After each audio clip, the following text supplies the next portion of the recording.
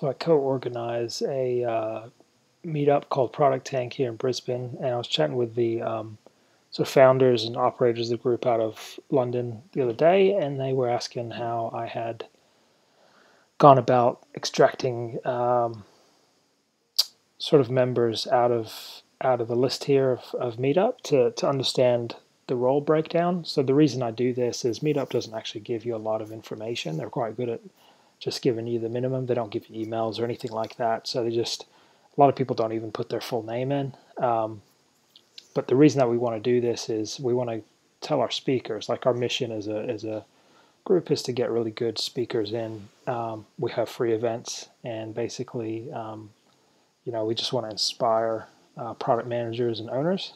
And, um, you know, but to do that, we need to give the speakers a kind of a breakdown on what their audience is going to be like, you know, what, how many product managers and owners and UX people and like executives and things like that. So um, the way I've accomplished that is you can go into Meetup and it's easy enough to download your your member list.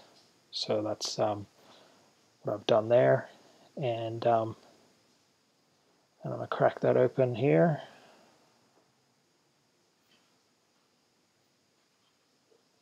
And all right, so then basically what you do is you just, um, what I would do is, is uh, filter. Let's see if I can downsize this a tad. And um, I'm going to go ahead and filter it sort of just to, to Brisbane. And I'll explain why in just a sec. So I'm going to go through and just grab all these Brisbane names so. All right, I'm going to copy that. And um, now I'm going to go back into the browser and I've put this script up and basically what you got to do is copy uh, this script into like into notepad right and I'll give the link to this in the video description so once you've got it in notepad then basically you um, you want to paste those names in there. The instructions are right here at the top. So basically it says open this file, put it in Notepad, paste the names in, and then I'm going to talk you through the rest of the steps. Just to expedite this a little bit, I'm just going to um, just do like three names. And I'll also explain a bit about that. Alright, so I'm going to copy that so what the concept here is, is what it's going to do is um, I'm just going to go to LinkedIn Fresh here and um, see if we can actually get it to do something here. Seems a bit sluggish. So the concept is, is we're going to tee up a people search and we're going to narrow, we're going to go ahead and filter it down to Brisbane, right? Because that's where our group is. So I want to I want to give it constraints so that it's got the best chance of matching a name for me. So I'm going to go ahead and golly gee when this thing loads LinkedIn, good grief. It's pretty heavy. so when, once this thing loads, I'll click into the search. I'll click people search and I'll go ahead and um, filter it down to to Brisbane and then once that's in there, I shall show you what's next. Let's apply that. Alright, so then the little script gives instructions for how to get into this thing called console, which I'll do here. Alright, console.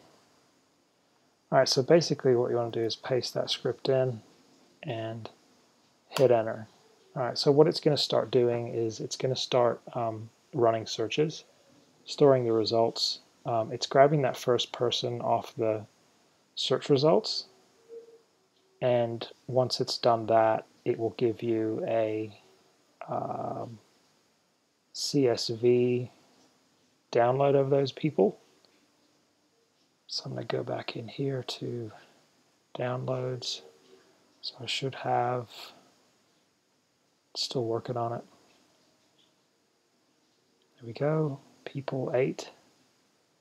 All right, so at this point, what I'll do, um, I've got, you can go in Excel, like you could see I had Excel open just a minute ago.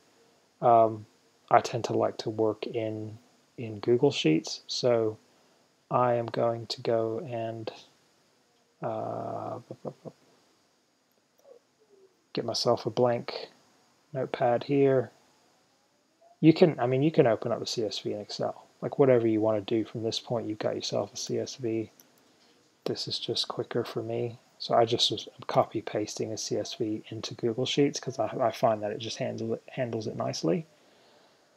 So what we did from here is um, I created sort of like a um, another column, call it category, and then I started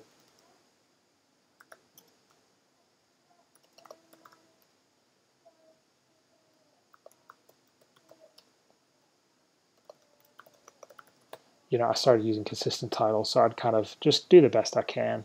So the match rate on this is like 80% basically, or maybe 90%, because, you know, you're going to have people like John Smith or people that just put their first names, like whatever, in there, and it's not going to find those people. So you can either manually go and see if you can find them or figure out who they are, but I mean, understanding 80% of your audience in terms of their role and the company they're with um, isn't so bad. And what this little thing does is it it also puts the link in so you can cross check. I found that you know sometimes it finds a person, but it's just the wrong person as well. Like people, two people with the same name in, in the same city, so which can can happen. But at least you know eighty percent there in terms of um, doing a breakdown, and then you know use some uh, Excel wizardry to do, do yourself a pie chart and uh, give your speakers a a feel for what um, what who they're going to be talking to. Um, just to quickly explain what the script does, it's very very basic. Um, it's kind of um, simulating typing in the search field, hitting enter, and then it just grabs the very brief text and then it puts it in the CSV. That's literally all it does. In terms of the like the terms of service, one, I pay for LinkedIn. Two, I'm not using this for any kind of monetary benefit whatsoever. It's free groups and all that. Three, it's an extremely good cause, given these speakers good context on who they're talking to. So I feel pretty comfortable with with this, especially the fact that it emulates. Um, it's not, you know, it emulates real behavior like typing in a field and hitting enter and stuff like that. So um, I could just as easily be going through and manually doing this and copying pasting into Excel, which ironically, that is what I did the first time when I did this, and it took a heck of a long time. So I thought, you know, there's got to be an easier way. So that's where we are now.